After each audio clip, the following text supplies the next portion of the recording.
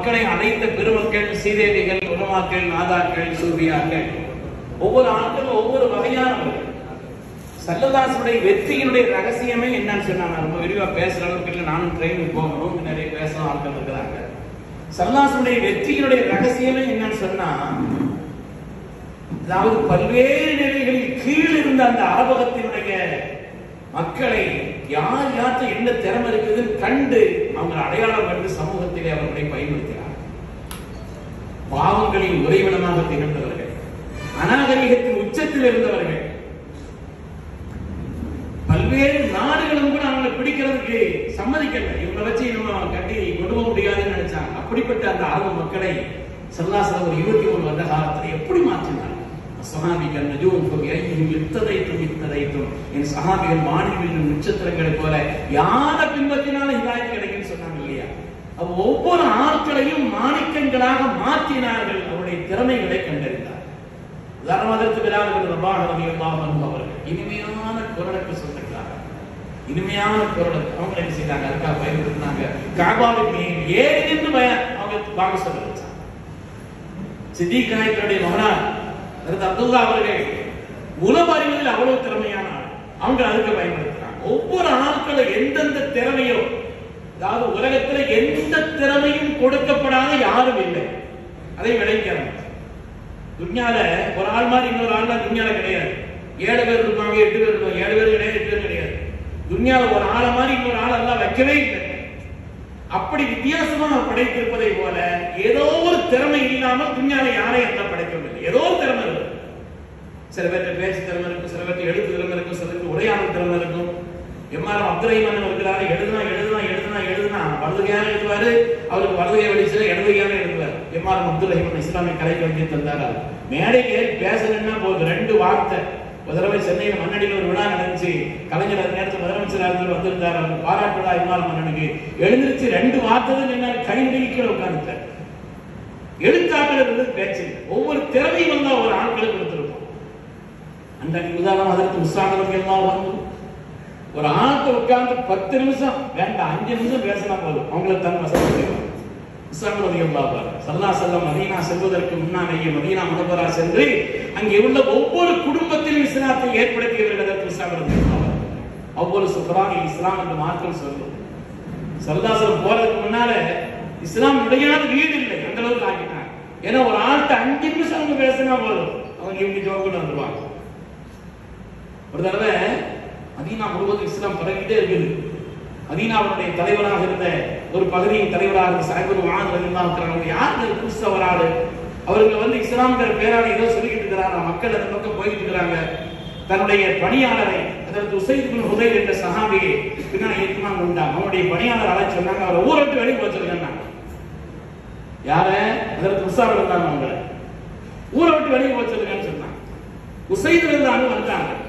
வந்த உடனே சொன்னாங்கன்னா எங்களுடைய தலைவர் உத்தரவிட்டிருக்கிறாங்க நீங்க மதியனா விட்டு முதல்ல வெளியில போறேன்னு சொன்னாங்க. அதற்கு உஸ்தாத் தானே சொன்னாங்க மதீனா மக்கள் அவ்வளவு சிறந்தவர்கள் உயர்ந்த குணத்துக்கு சொந்தக்காரர்கள். நான் என்ன சொல்றேன்னு கேளுங்க.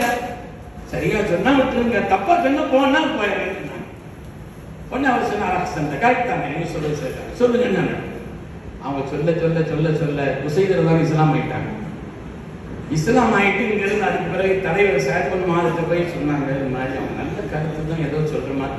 எங்க ஒரு வேலை சொன்னா செய்யறீங்க இல்லையா உங்களுக்கு என்னங்க சொன்னாங்க? ஊர் விட்டு வெளியே போய் சொல்லுங்க அவர் அப்படித்தானே சொல்லி விட்டுறான் நீங்க போய் தலை குடிஞ்சு சொன்ன வேலையை செய்ய தெரியாம இருக்கிறீங்க அப்படின்னு அதற்கு செய்து நான் சாய்ந்து பண்ணுவான் தானே வாழை கொண்டு வந்தார்கள்.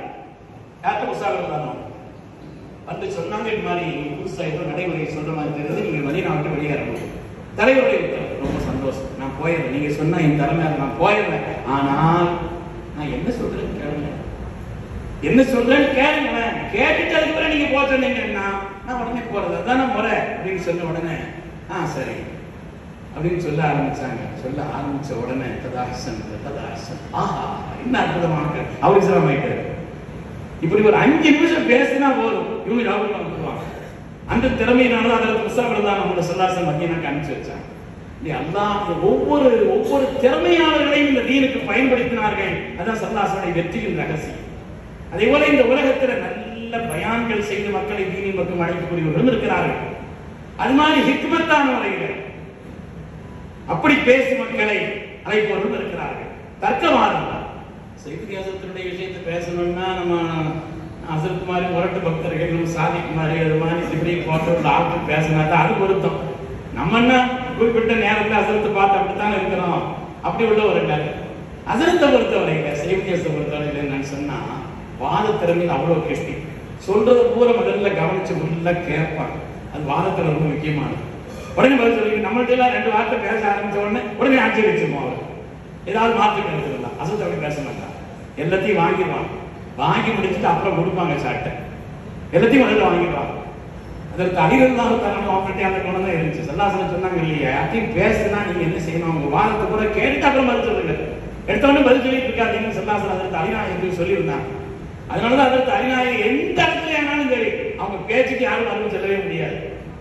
ஒரு யூதர் ஒரு ஆளு அதற்கு அடிகள் நாங்க கூப்பிட்டு விருந்து கொடுக்கறதுக்காக கூப்பிட்டாங்க. விருந்து கொடுக்கறது நோக்கம் இல்லை. பதில் சொல்ல முடியாது கேள்வி அறிவுங்கிறதுனால கூப்பிட்டேன் அதற்கு அறிவு தாத்தாரான வீட்டுக்கு போனோடனே ஒரு திராட்சையை முன்னால வச்சாரு. அதை சாப்பிட்டு இருந்தாங்க அதற்கு அறிவு தாத்தாரான மதுவை கொண்டு வைக்கிறாரு அப்படின்னு சொல்லி கேட்டாங்க மதுவை கொண்டு வைக்கிறீங்க நமக்கு ஹராம் ஆச்சு அந்த வாடகை ஒத்துக்கிறாங்க.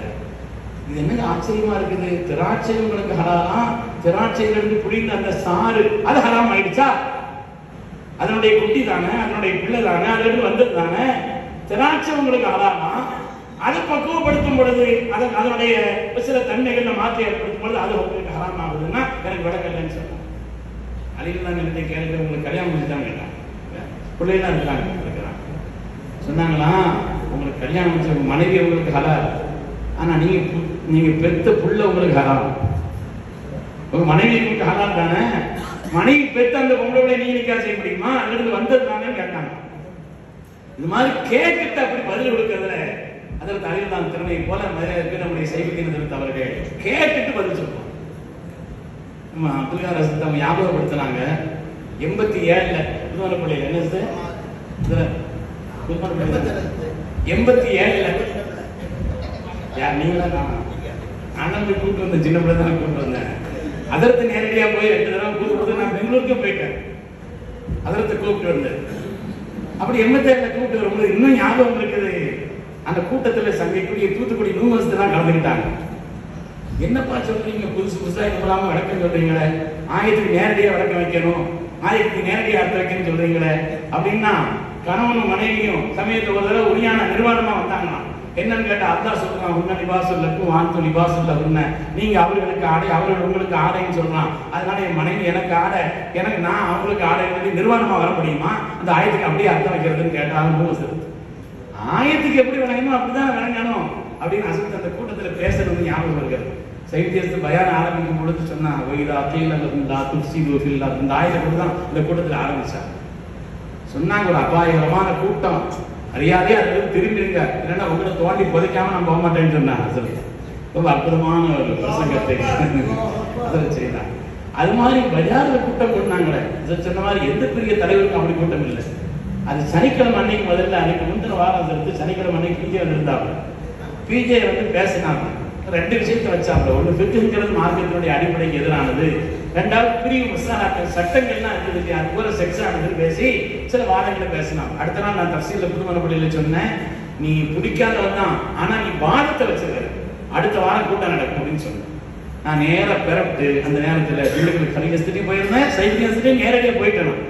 போய் அவங்கள்ட்ட கொண்டு போய் இந்த கேசட்டை கையில கொண்டு போய் கொடுத்தேன். கேளுங்க இந்த உம்மத்துக்கு சொல்லணுமா விளக்கம் சொல்லணுமா வேண்டாமா? அப்படின்னு சொல்லி சொன்ன உடனே அசத்து உடனே ஏற்றுக்கிட்டாங்க இன்ஷால்லா நான் வர்றேன்னு சொல்லிட்டு அந்த கூட்டத்துல சுமகானந்தா அந்த ஒரு மசாலாவுக்கு அசத்து விளக்கம் கொடுத்த அந்த விளக்கம் அதை தொடர்ந்து சுத்தி என்பது மார்க்கத்தினுடைய எப்படி அடிப்படை என்பதை சங்கைக்குரிய கலிகசத்து அவங்க ரெண்டு பேரும் சொன்ன விளக்கம் இருக்குது அவ்வளவு அற்புதமான விளக்கம்.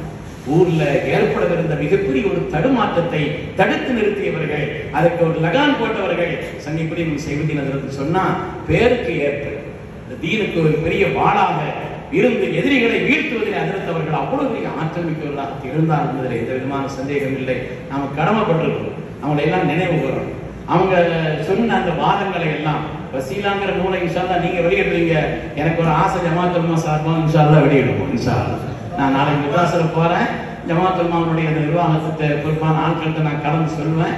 ரொம்ப அற்புதமான ஒரு நூல் இன்ஷா அல்லாஹ் ஜமாத்துமா சார்பாகவும் அதற்கு அவருடைய இந்த நூலை வெளியிட்டு சமூகத்திற்கு கொண்டு சேர்ப்பது ஜமாத்துமா கவனம் செலுத்தும் என்பதையும் உங்களிடத்தில் பணிவோடு மற்றவங்கள்ட்ட கலந்துட்டு அந்த காரியத்தை செய்வேன் என்பதையும் உங்களிடத்தில் நான் தெரிவித்துக் கொள்கிறேன். அதற்கு அவர்களுக்கு நாம் ரொம்ப கடமைப்பட்டிருக்கிறோம். இந்த சமூகம் சருகுவதிலிருந்து வழிகேடான நிலையிலிருந்து பல்வேறு நிலைகளில் இந்த சமூகம் ஆபத்தான அதாவது கொள்கை பிறழ்வுகளில் அதிர்த்து அவர்கள் தற்காத்துக் கொண்டவர்கள் என்பதில் எந்த விதமான சந்தேகம் இல்லை.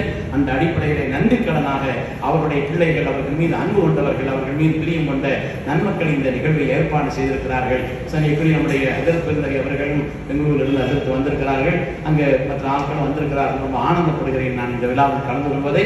மிக சிறந்த ஒரு வாக்கியமாக கருதுகிறேன். அல்லாஹ் தாலா அதிர்த்து அவருடைய அந்தஸ்தை மென்மேலும் உயர்வாக்கி அருள்வானாக. அவருடைய கபரை எல்லாம் பிரகாசமாக ஆக்கி அருள்வானாக. அவர்கள் இந்த உலகத்தில் எடுத்து வைத்த அந்த வாதங்களை தெளிவாக புரிந்து வாழ்க்கையிலே தெளிவான நடைமுறைகளிலே தங்களுடைய வாழ்க்கையை அமைத்துக் கொள்ளக்கூடிய நன்மக்களாக அல்லாஹ் எல்லோரையும் ஆக்கி அருள் புரிவானாக என்று துவா செய்து கொண்டு வாய்ப்புக்கு நன்றி விடைபெறுகிறேன். அஸ்லாம் வலைக்கம் வரமத்துல்லா